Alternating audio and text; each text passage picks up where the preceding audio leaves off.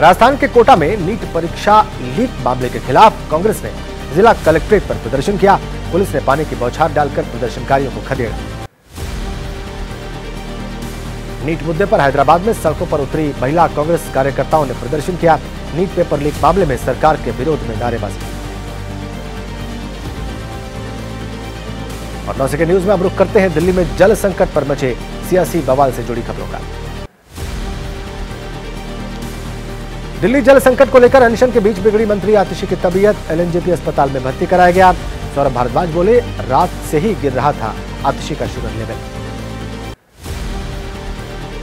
भूख हड़ताल पर बैठी मंत्री आतिशी ने अस्पताल ले जाने से पहले कहा, चाहे शरीर को कितना भी कष्ट हो, जब तक दिल्ली के लोगों को पानी नहीं मिल जाता, तब तक अनशन जारी रहेगा। मंत्री आतिशी के समर्थन में आम आदमी पार्टी के कार्यकर्ताओं ने निकाला कैंडल मार्च। टीएमसी डेलीगेशन ने भी समर्थन दिया। हरियाणा से की दिल्ली को पानी देने की मांग। आप सांसद संजय सिंह ने कहा कि दिल्ली के साथ न हो अमानवीय व्यवहार। हरियाणा में सरकार में आते ही बीजेपी ने दिल्ली का पानी रोककर निर्दयता की। अनशन के मंच पर आतिशी के साथ नज़र आए। आप सांसद संजय सिंह ने कहा कि आज देश में सबसे ज़्यादा दो पार्टियों का हो रहा शोषण। दिल्ली में आम आदमी पार्टी और दूसरा बंगाल में टीएमसी का हो रहा शोषण। महुआ मोहित्रा ने कहा कि हम टीएमसी की ओर से आतिशी का समर्थन करने आए हैं। बीजेपी की रिवेंज पॉलिटिक्स जनता को नहीं आई पसंद, पानी पर सबका अधिकार। राज्यसभा सांसद सागरिका घोष ने कहा, बड़े शर्म की बात है कि पानी के लिए आतिशी को अनशन पर बैठना पड़ा। राजा इटली में घूमकर सेल्फी ले रहा है, कुछ तो इंसानियत दिखाओ मोदी जी। आम आदमी पार्टी सांसद संजय सिंह ने कहा, पानी के मुद्दे और बीजेपी की ज्यादती पर टीएमसी ने आम आदमी पार्टी को समर्थन दिया। बोले, कार्रवाई शुरू होते ही राज्यसभा में गूंजेगा पानी का मुद्दा। और नौ सेकंड में अब राजनीति की बड़ी खबरें। आपातकाल की पचासवीं बरसी पर काला दिवस मनाने की तैयारी। 1975 के इमरजेंसी के खिलाफ देशव्यापी अभियान चलाएगी बीजेपी। पीएम मोदी ने आपातकाल को लोकतंत्र पर लगा काला धब्बा करार दिया। बीजेपी अध्यक्ष जेपी नड्डा आज पार्टी मुख्यालय में आपातकाल के विरोध में आयोजित कार्यक्रम डार्क डेज़ ऑफ़ डेमोक्रेसी को संबोधित करेंगे। लखनऊ में लोक नायकों का विधि सम्मान कार्यक्रम। राष्ट्रगान के दौरान राहुल गांधी के गायब रहने पर बीजेपी नेता शोभा करंदलाजे ने कहा, राहुल गांधी संविधान का हमेशा मज़ाक उड़ाते रहे हैं। उनके परिवार ने संविधान को ताक पर रखकर देश में इमरजेंसी लगाई। राष्ट्रपति द्रौपदी मुर्मू ने पीएम मोदी और केंद्रीय मंत्रियों को डिनर दिया। उपराष्ट्रपति जगदीप धनखड़ भी इसमें शामिल हुए। केंद्रीय मंत्रिपरिषद के सम्मान में रात्रि भोज का आयोजन।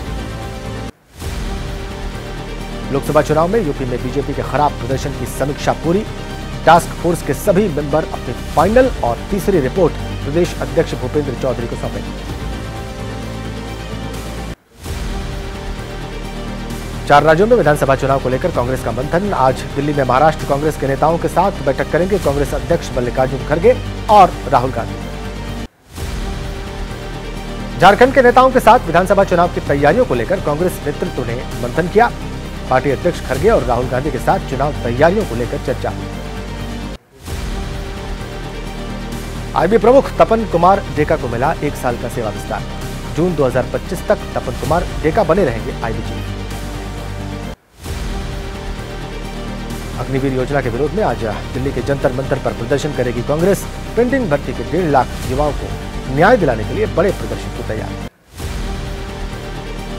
यूपी के सीएम योगी आदित्यनाथ की अध्यक्षता में आज होगी कैबिनेट की बैठक। सुबह ग्यारह बजे लोकभवन में कैबिनेट मीटिंग में प्रदेश से जुड़े कई अहम मुद्दों पर चर्चा करके फैसला लिया जाएगा। गुजरात के राजकोट में टीआरपी गेम जोन अग्निकांड के पीड़ितों को न्याय दिलाने के लिए कांग्रेस ने राजकोट बंद का आह्वान किया। 25 मई को गेम जोन में आग लगने से बच्चों सहित 27 की हुई थी मौत।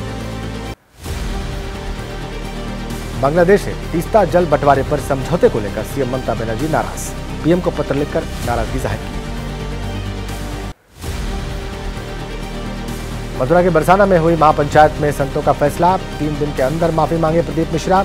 नहीं तो राधा रानी मंदिर सहित ब्रज चौरासी को के सभी मंदिरों में प्रवेश नहीं मिलेगा।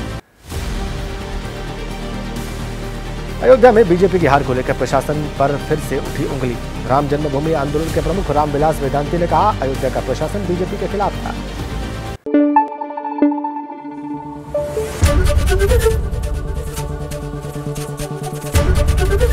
एबीपी न्यूज़, आपको रखे आगे।